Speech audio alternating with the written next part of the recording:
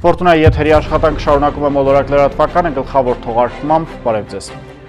Նախ մեկ արտակարգ դեպքի մասին վանաձորում այրվել է ինքնաշեն փայտե վագոն տնակ, որը պատկանում է համայնքի ավականու նախկին անդամ Վահան Մխիթարյանին։ ՀՌՏ-ը հայտնվել է իրավապահների ուշադրության կենտրոնում, քանի որ դեպքի վայրում հայտնաբերվել է մեծ քանակությամբ զենք եւ զինամթերք։ Սեփականատերը ոստիկանության գուգարքի բաժնում բացատրություն է տվել ոստիկանություն գնալուց առաջ Վահան Մխիթարյանը մեծ զրույցում ասել է, որ զենք զինամթերքի մասին տեղյակ չի եղել, ըստ նրա հայտնաբերվածը պատկանել է այն ազատամարտիկներին, ովքեր նախկինում ապրել են վագոն տնակում։ Ոստիկանության գուգարքի բաժնում նյութեր են նախապատրաստվում, տնակում ոչ ոք չի բնակվում։ Մխիթարյանը այնտեղ վերջին անգամ եղել է 3, հրդեհի առաջացման պատճառները հայտնի չեն։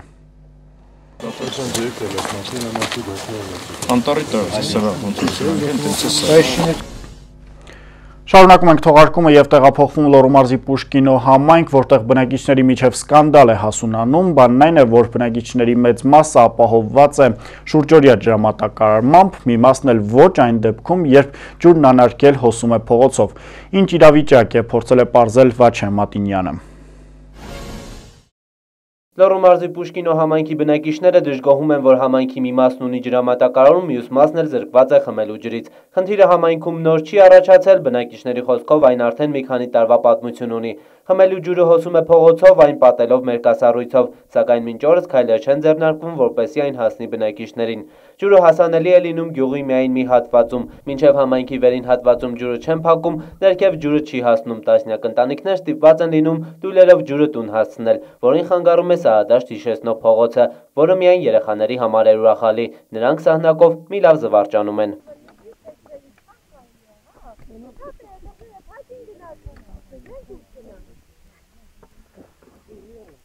Սա կերեսը դեսնա։ Այնպես որ չի օգտվեմ ջրից մոտ մի 20-30 ընտանիք կնի որ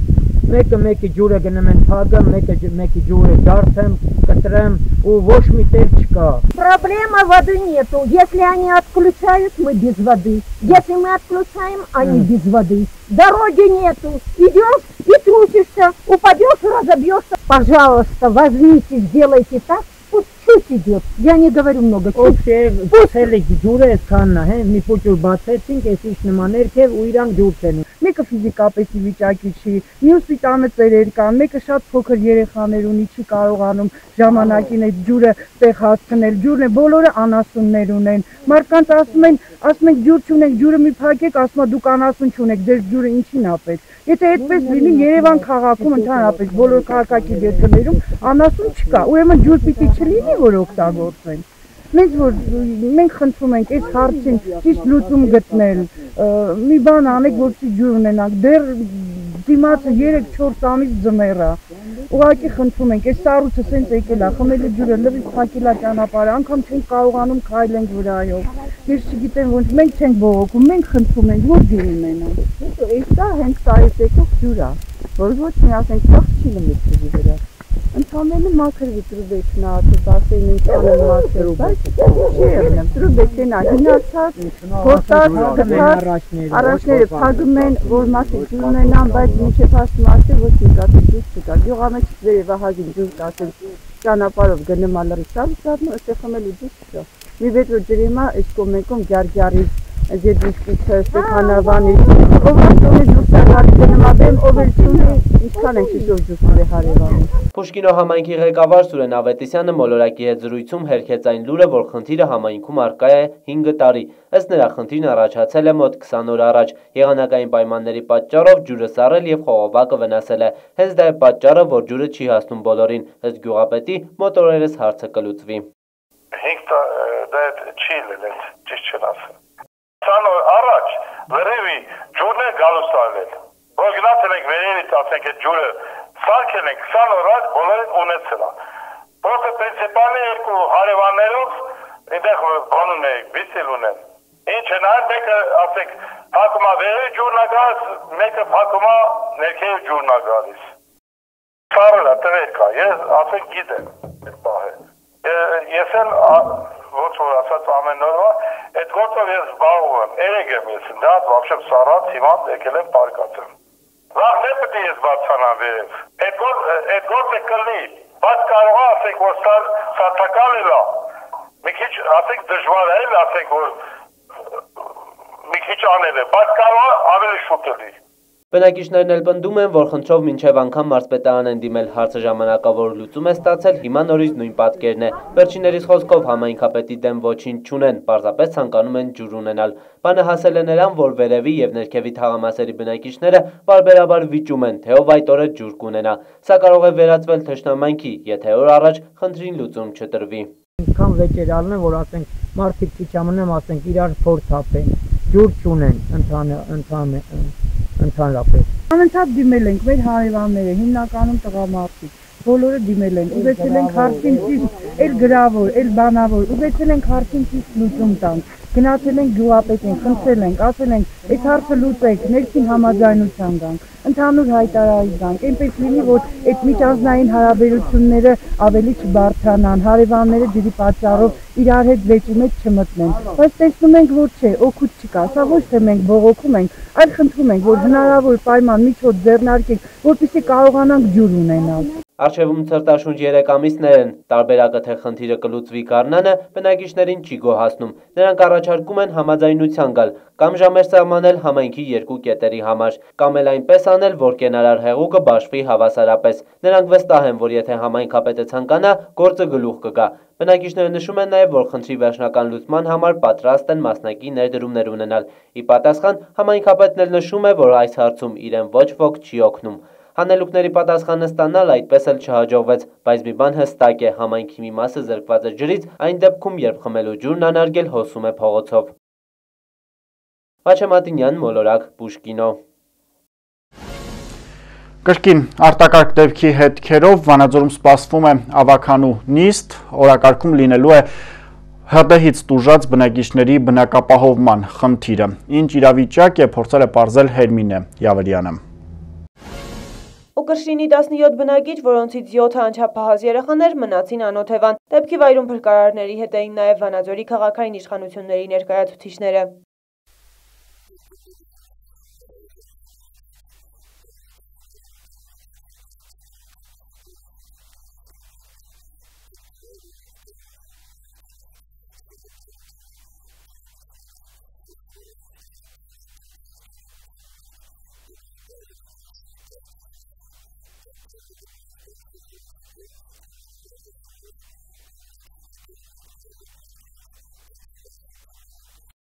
Հրդեհից տուժած չորս ընտանիքները ամենօրյա ուշադրության ներքո են քաղաքապետը նրանց հետ հանդիպում ունեցավ նաև ուրբաթ օրը։ Հանդիպման ընթացքում վերջիններս ներկայացրին իրենց կարիքներն ու անհրաժեշտությունները։ Բնակիչներին առաջարկվեց տեղավորվել նույն Ավանի այլ տնակներում, որոնք սակայն որոշակի նորոգման կարիք ունեն, կամ փնտրել վարձակալության հիմունքներով բնակարան, որպեսզի հնարավորինս շուտ վերադառնան իրենց բնականոն առօրյային։ Իսկ մինչ այդ անօթևան մնացած ընտանիքներն ապահովվել են ժամանակավոր կացարաններով։ Լուծվել է ջեռուցման, հագուստի ու սննդի հարցը։ Տրամադրվող աջակցությունը կոորդինացվում է քաղաքապետարանի կողմից։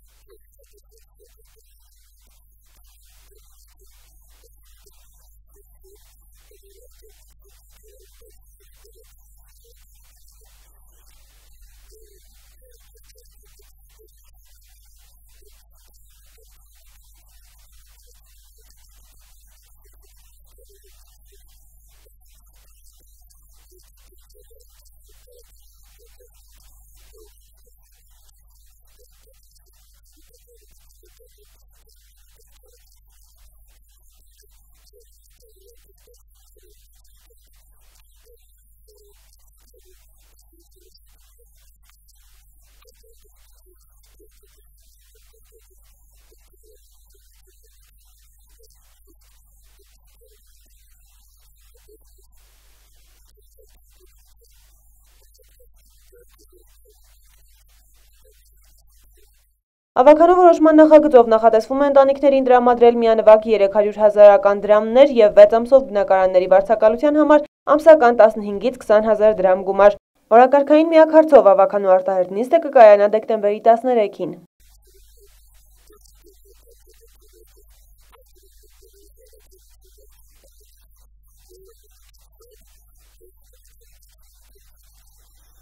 Համայնքի ղեկավարի խոսքով առաջնահերթ է նաև Վանաձորի եկած սիրիահայերի կարիքների վերհանումը։ Այս նպատակով երկուշաբթի նրանք հանդիպում կունենան քաղաքապետարանում։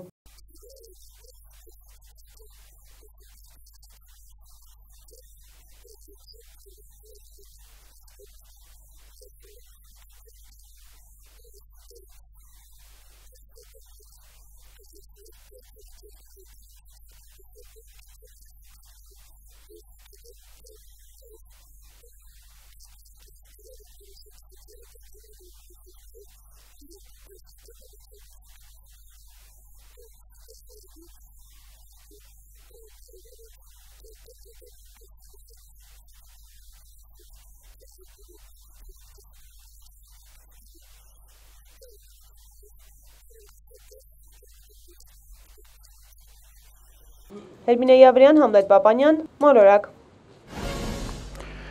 Կրկին Վանաձոր քաղաքապետ Մամիկոն Հասլանյանի նախաձեռնությամբ այստեղ մեծ էկրան է բարձրացել երկրաշարժ ֆիլմը։ Մանրամասները ռեպորտաժում։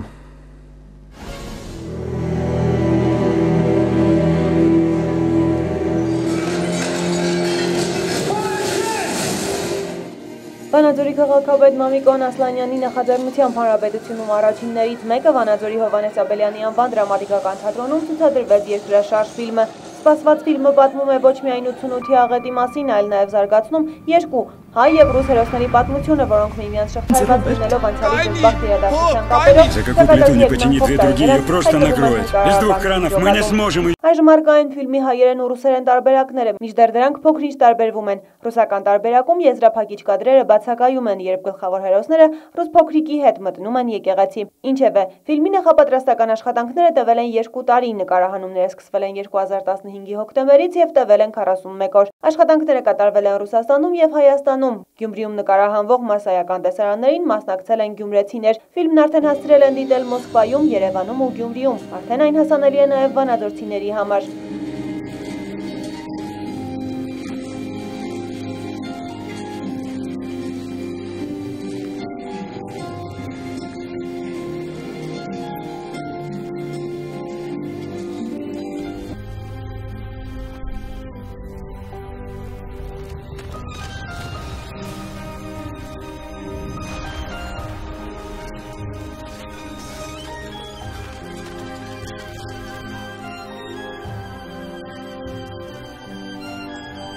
Ֆիլմի դիտումից հանդիսատեսը տպավորված հեռացավ, իսկ ովքեր տեսել էին 88-ի աղետը, կարծես վերապրեցին այն։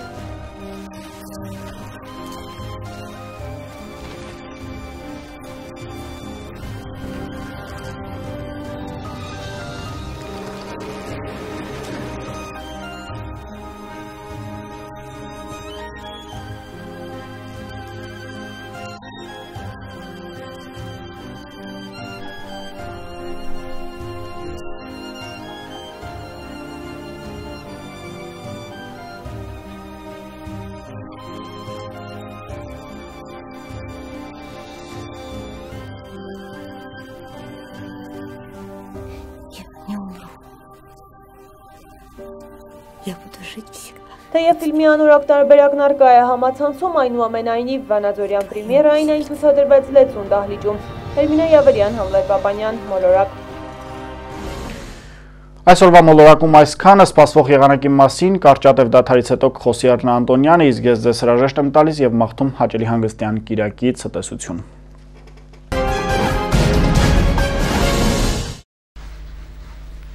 Մոլորակը շարունակում է եղանակի տեսությունը, բարև ձեզ։ Հարապետության տարածքում դեկտեմբերի 11-ին սպասվում են թույլ տեղումներ, 12-ին սպասվում է առանց տեղումների եղանակ։ Քամին հյուսիսարևմտյան շրջաններում կլինի մինչև 8 մետր վարկյանարագությամբ։ Օդի ջերմաստիճանը դեկտեմբերի 11-ին հատկապես գիշերը աստիճանաբար կբարձրանա 8-ից 10 աստիճանով։ Լոռու մարզում օդի առավելագույն ջերմաստիճանը կլինի 7 աստիճան տաքություն։ Այժմ ջերմաստիճանն ըստ քաղաքների։ Տաշիրում գիշերը կանխատեսվում է 4 աստիճան աստիճան ցուրտ ցրեկը մինչև 3 աստիճան տաքություն, այստեղ տեղ-տեղ հնարավոր է մրկասառույց։ Հիմնականում երեկոյան հնարավոր են թույլ տեղումներ։ Ալավերդիում գիշերը կանխատեսվում է 1 աստիճան տաքություն։ Այստեղ սնդիկի սյունն առավոտյան ժամերին կհասնի 7 աստիճան տաքության։ Առանց տեղումների արևային եղանակ է սպասվում։ Եթե գտնվում եք Ալավերդիում, ապա վայելեք ձմեռվա տաք շունչը։ Սպիտակում գիշերը կանխատեսվում է 5 աստիճան ցուրտ ցրեկը մինչև 3 աստիճան տաքություն։ Օրվա երկրորդ հատվածում հնարավոր են տեղումներ ձյան, ձնախառն անձրևի տեսքով։ Ստեփանավանում գիշերը կանխատեսվում է 4 աստիճան ցուրտ, ցերեկը մինչև 4 աստիճան տաքություն։ Հիմնականում կդիտվի առանց տեղումների եղանակ։ Մարզկենտրոնում գիշերը սպասվում է 2 աստիճան ցուրտ։ Սնդիկի սյունն առավոտյան ժամերին կգրանցի մինչև 6 աստիճան տաքություն։ Երեկոյան ժամերին հնարավոր են թույլ տեղումներ։ Երևանում դեկտեմբերի 11-ին հնարավոր են թույլ տեղումներ, 12-ին սպասվում է առանց տեղումների եղանակ։ Գիշերը կանխատեսվում է 2 աստիճան ցուրտ, ցերեկը մինչև 4 աստիճան տաքություն։ Եղանակն այսօր այսպիսին էր անկախ եղանակից Ստացեք հաճախ ցտեսություն։